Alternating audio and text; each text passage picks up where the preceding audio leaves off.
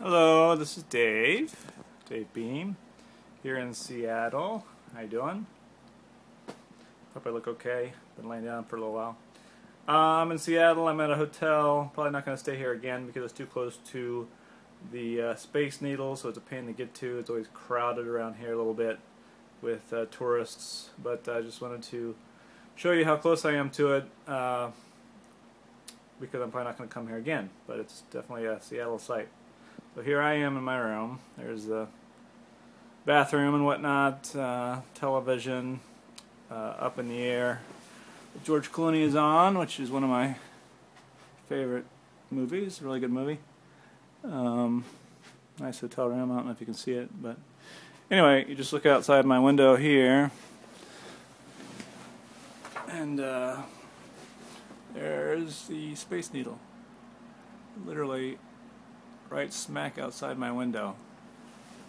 So if I'm laying in bed,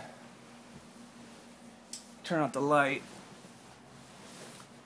um, if I leave the curtains open, that's what I see.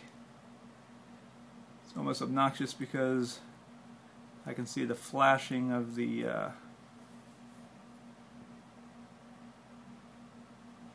Oh, I know you can do that.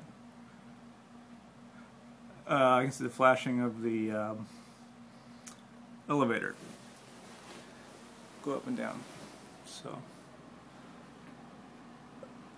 but it's definitely a Seattle site. So I guess with my handy dandy camera, I can actually turn on the light, show the room a little bit. Not really.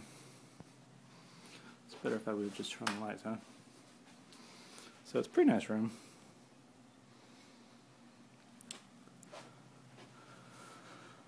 Nice flat screen TV.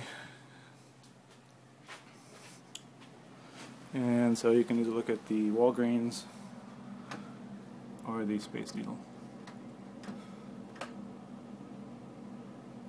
So anyway, definitely a Seattle view. One that I will probably not see again because I probably won't stay at this hotel again. And I have no desire to go up into the needle. It looks so 1970s to me for some reason. I think that's when it was built. Alright, thanks. See ya. Bye.